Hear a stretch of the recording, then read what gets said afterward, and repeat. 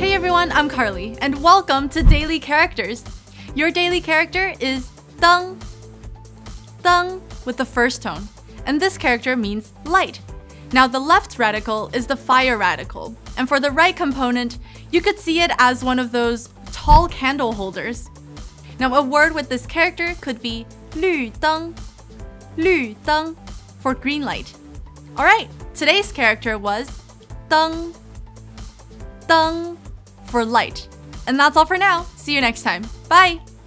Remember to hit that like and subscribe button. Also, be sure to check out more daily character videos.